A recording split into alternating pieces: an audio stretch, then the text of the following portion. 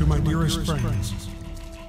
Through the evil noise of artillery, tanks, and planes, I remember our adventures, our friendship, and your pain.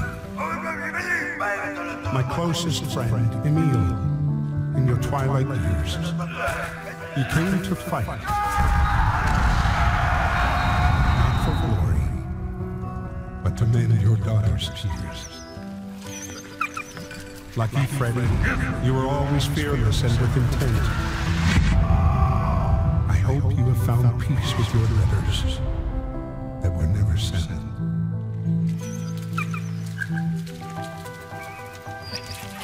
Anna, my bravest of warriors across the Western Front, saving the mountain of wounded without firing a shot.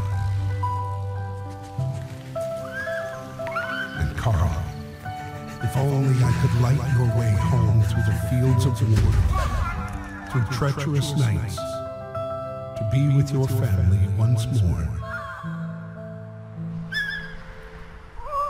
Although I cannot write these words, and the time has come to part, your stories will always remain, as will your valiant hearts.